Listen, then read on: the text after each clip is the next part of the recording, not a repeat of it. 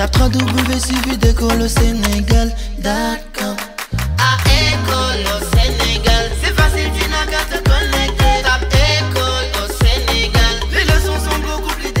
Alors, donc après la première voie rapide ou immédiate, donc on appelle la voie de la phosphocréatine ou l'utilisation de la phosphocréatine. La deuxième voie, donc c'est la voie de l'utilisation donc de l'ADP qui est l'adénosine diphosphate. Donc cette voie également donc se déroule comme la première avec la phosphocréatine dans le sarcoplasme selon l'équation suivante. Donc ADP, donc adénosine diphosphate donne de l'ATP, donc de l'adénosine triphosphate, de l'AMP, donc AMP c'est adénosine monophosphate. Et puis, comme nous l'avons dit tout, à l'heure, donc les phénomènes thermiques avec la production de, de chaleur initiale, ce qui indique donc le timing. Donc, c'est des voies vraiment de régénération rapide, immédiate, au moment même où le muscle est en train de se contacter, puisque en 2-3 secondes, comme je l'ai dit tout à l'heure, l'ATP qui était stocké au préalable est régénéré. Ça aussi, il y a une donnée importante que les élèves doivent, euh, doivent assimiler, c'est que lorsque vous mesurez la quantité d'ATP au début et à la fin de la contraction, vous trouvez la même valeur. Pourquoi? Parce que la, régénération, c'est un phénomène qui est immédiat. Dès que l'ATP est épuisé, elle est immédiatement régénérée. L'erreur que les élèves doivent éviter, c'est de croire que lorsque vous avez l'ATP en début et en fin d'une contraction, avec des valeurs égales, de dire donc que l'ATP n'a pas été utilisé. Aucune contraction est- n'est possible sans l'utilisation de la molécule d'ATP parce que, comme on l'a vu dans la première partie, c'est elle qui fournit l'énergie donc nécessaire au travail musculaire de façon directe. Donc cette équation donc des deux ADP est comme vous l'avez vu donc catalysée donc par des enzymes qu'on appelle des myokinases. L'autre donnée importante à remarquer c'est qu'ici, comme tout à l'heure lors de la voie donc de la phosphocréatine, il n'y a pas d'utilisation d'oxygène, donc nous avons affaire à une voie également anaérobie. Ensuite, si regardons les produits, nous avons de l'ATP, adénosine triphosphate, de l'adénosine monophosphate et une production donc de chaleur initiale, comme je l'ai dit tout à l'heure, ce qui indique donc qu'on a affaire à une équation exothermique eh bien, ou exergonique. Et bien ici, on voit également que dans les produits, il n'y a pas de- de- d'acide lactique, donc nous avons affaire également à une voie alactique une voie qui est lactique. Donc, comme tout à l'heure, la première voie rapide, on a affaire ici à une voie qui est anaérobie, pas de production d'oxygène, et qui est alactique, pas de production d'acide lactique. C'est une voie qui se déroule dans le sarcoplasme, comme la voie de l'adénosine, de l'ACP, donc la- l'acide créatine phosphate. Donc, ici, maintenant, de façon schématique, L'adénosine diphosphate, c'est de l'adénosine plus 2 phosphate. Si vous disposez de deux molécules, encore une fois de façon schématique, pour montrer les, phénomènes qui ont eu lieu ici. Donc si vous prenez un P, donc vous faites une phosphorylation de l'ADP, donc un transfert d'un P, vous vous retrouvez ici avec 3P. Donc nous avons ici notre molécule d'adénosine triphosphate au détriment d'une des molécules qui a perdu donc un P. Et si cette molécule donc perd un P, regardez ce qui reste, un seul P, on a donc l'adénosine monophosphate. Donc ici, nous voyons comment nous pouvons obtenir de l'AMP et de l'ATP, donc à partir des deux molécules d'ATP. Donc je rappelle que c'est d'ADP, je rappelle que ces deux équations, celle-ci et la précédente, se déroulent dans le sarcoplasme. Alors, la première chose à noter, c'est que les voies lentes interviennent lorsque l'organisme ne peut plus approvisionner en ATP donc euh, le muscle à partir donc de ce qu'on appelle les voies rapides. Donc, vous voyez que sur le plan chronologique, cette voie donc euh, ou ces voies lentes ne se déclenchent que lorsque l'effort se prolonge. Donc, c'est un élément important. Donc, comment cela se passe? Le muscle va cette fois utiliser le glucose qui était donc des molécules organiques comme le glucose qui était stocké donc sous forme de glycogène ou quand même ou directement s'approvisionner à partir du glucose sanguin. Et ce glucogène est à la base de ce qu'on appelle donc les voies tardives ou les voies lentes, avec deux possibilités. La première, donc, c'est la glycolyse aérobie. On va voir pourquoi on l'appellera également fermentation lactique.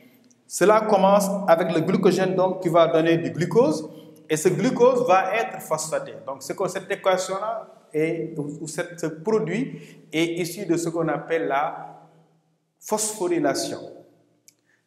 Le glucose phosphaté va subir donc la glycolyse anaérobie, comme, comme, comme nous le voyons, sans oxygène, mais avec production d'acide lactique pour donner deux acides pyruviques. Au passage, nous remarquerons que pour une molécule de glucose utilisée, le rendement est assez faible puisque nous avons que deux molécules d'adénosine triphosphate qui sont produits. Des deux acides pyruviques, toujours en anaérobiose, nous passons à deux acides lactiques. Donc voilà comment cette première voie, qu'on appelle la fermentation lactique, permet de passer du glucogène à la production de deux adénosines triphosphate. Et ces deux atomes, à rappeler également que cette voie, je j'insiste là-dessus, intervient lorsque les voies rapides ne parviennent plus à approvisionner le muscle en adénosine triphosphate. C'est une équation évidemment que les élèves doivent retenir et apprendre, mais surtout comprendre le processus, le glucogène ou le glucose sanguin carrément subit une phosphorylation pour donner du glucose P. Le glucose P subit la glycolyse lactique, la glucolyse aérobie pour donner deux acides pyruviques, ce qui est logique parce que le glucose est un C6. Le glucose c'est un composé, donc C6, H12, O6.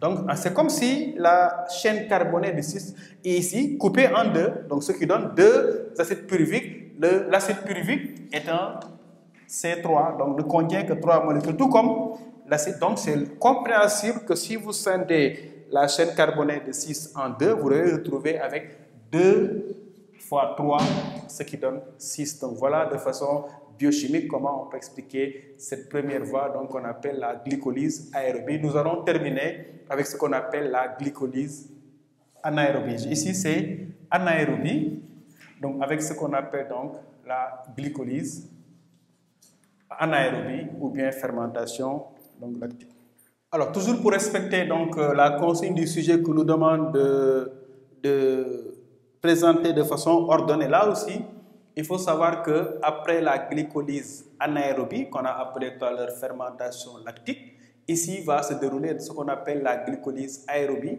si l'activité physique encore une fois se prolonge. Donc c'est lorsque l'activité se prononce. Donc les voies rapides ne suffisent absolument pas à approvisionner le corps en ATP correctement que cette voie donc se met en route en dernière position avec, comme nous le voyons, toujours le glucogène des molécules donc, euh, organiques qui étaient stockées dans le sarcoplasme qui vont être utilisées. Donc le glucogène va donner du glucose qui va être phosphorylé pour donner du glucose phosphaté qui va subir la glycolyse aérobie cette fois et produire de l'acide pourquoi glycolyse aérobie? Parce qu'il y a l'intervention de l'oxygène et cet acide pyruvique dans la mitochondrie. Il faut noter que ce phénomène se déroule